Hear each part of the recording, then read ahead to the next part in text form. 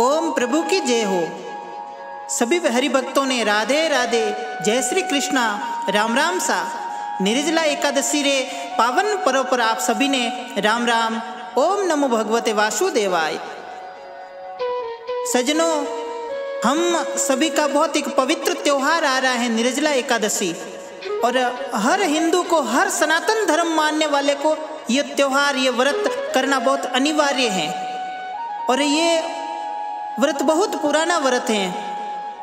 एक समय की बात है, मैं आपको थोड़ा सा महाभारत काल में ले जाना चाहता हूँ।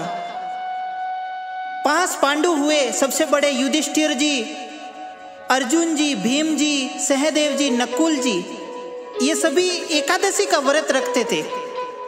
और आप सभी को पता है कि भीमसेन जी थे, उनको भूख बहुत ज़्यादा लगती थी, इसीलिए वो ये व्रत रख नहीं सकते थे। एक समय की बात है। महर्षि वेदव्यास जी महाराज पांडव दरबार में पधारे। वेदव्यास जी महाराज पधारे, उस समय सभी ने गुरुदेव की पूजा अर्चना की। भीम जी ने भी उनकी पूजा अर्चना करके उनके सामने हाथ जोड़कर बोले, हे गुरुदेव, मेरा आपसे आज एक प्रश्न है और मैं आपके श्री चरणों में शीश झुकाकर एक मैं आपको प्रश्न पूछना चाहता हूँ।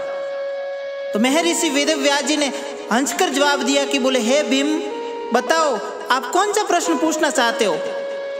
तो भीम जी बोले, हे गुरुदेव, मेरे चारों भाई युधिष्ठिर जी, अर्जुन जी, सहदेव जी, नकुल जी, ये सभी एकादशी का व्रत रखते हैं और मेरी माता श्री माता कुंता भी एकादशी का व्रत रखती हैं और महारानी द्रौपदी भी एकादशी का व्रत रखती हैं। परंतु मैं एकादशी का व्रत रख नहीं सकता हूँ, क्योंकि मेरे भूख की जो जठरा अग्नि है, पेट की जठरा अग्नि, वो बहुत तेज है, इसलिए मैं ये व्रत रख नहीं सकता हूँ।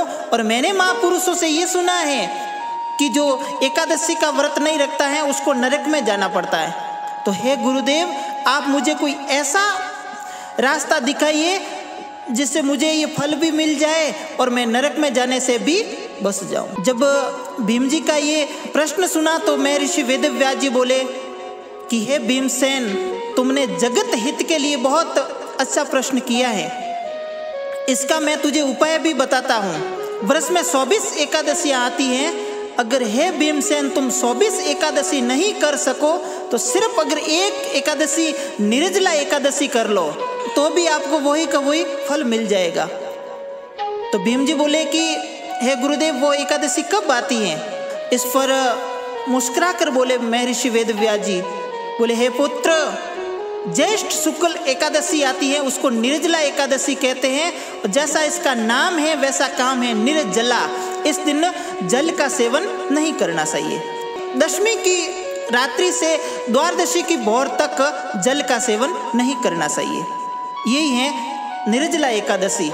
और इस दिन है भीमसेन निर्जला एकादशी के दिन सुबह ब्रह्म मुहूर्त में जागृत होकर स्नान करके भगवान विष्णु की पूजा अर्चना करना बहुत अनिवार्य है। भगवान विष्णु की पूजा करे, भगवान विष्णु का ध्यान लगाए, भगवान श्री कृष्ण का सुमिरन करे और पूरे दिन हरि सुमिरन में लगे रहे और दिन में सैया पर शयन न करे और उस दिन भोजन भी न करे और जब संध्या वेला हो जाए तो संध्या के समय बैठकर प्रभु का जागरण करे, प्रभु का कीर्तन करे, प्रभु का सुमिरन करे। इससे बहुत फल मिलता है।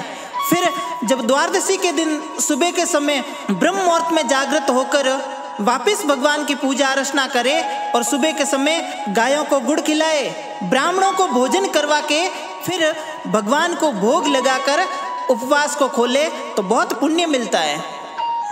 और स्नान करें तो सुबह ब्रह्म मुहूर्त में जागृत होकर स्नान करें अगर नदी पास में है तो कोई पवित्र नदी में स्नान करे। अगर नदी पास में नहीं है तो गंगा जल जहाँ पर अपन स्नान कर रहे हैं, उस पानी में थोड़ा सा गंगा जल मिलाकर स्नान करें तो भी बहुत पुण्य मिलता है। पूरा दिन भक्ति में बिताए, इसी में आनंद है। ये प्रश्न भीम जी ने किया, अपने लिए किया और उनके बाद अगर ये देखा जाए तो उन्होंने जगत के लिए किया, अपने को भी इसी प्रकार निर्जला एकादशी का व्रत करना चाहिए, भगवान की पूजा करनी चाहिए, भगवान की अर्चना करनी चाहिए, गौ माता की सेवा करनी चाहिए, संतों की सेवा करनी चाहिए, ब्राह्मणों की सेवा करनी चाहिए। अपने माता पिता का आशीर्वाद लेना चाहिए और उस दिन ध्यान रखने बातें योग्य हैं कि उस दिन ब्रह्माश्रय का पालन करे झूठ नहीं बोले, किसी की निंदा नहीं करे, पूरा दिन हरि सुमरण में बिताए, हरि जागरण करे, प्रभु के श्री शरणों में रहे, यही मन में रखे, मैं प्रभु का हूँ, प्रभु मेरा है। राधे राधे का सुमिरन करे और भगवान विष्णु, भगवान ठाकुर जी की पूजा करे, ज़्यादा से ज़्यादा ओम नमो भगवते वासुदेवा एक मंत्र का जाप करे। और हो सके तो ब्राह्मण को गाय दान में देवे। अगर हो सके तो एक जल से भरकर पानी का मटका, कपड़े से ढककर थोड़ा सा उसके ऊपर सोना लगाकर वो ब्राह्मणों को दान करे, इससे बहुत फल मिलता है। अगर ना हो सके तो गायों को गुड़ खिलाए और भगवान का कीर्तन करे, ये हमारे को बहुत पुण्य मिलता है। आप सभी से मेरा यही निवेदन है, श्री कृष्णा संगीत चैनल की ओर से आप सभी को निर्जला एकादशी पावन पर्व पर जय श्री कृष्णा। आप सभी तन मन से, पूरा मन शांत करके भगवान विष्णु की आराधना करें, निर्जला एकादशी का व्रत करें। जिस प्रकार भीमसेन जी को फल मिला, उसी प्रकार अपन को भी मिलेगा। अपन सिर्फ़ प्रभु के बनकर इस व्रत का पालन करें। आप सभी को जय श्री कृष्णा। एक बार आप सभी बोल दीजिए, राधे राधे।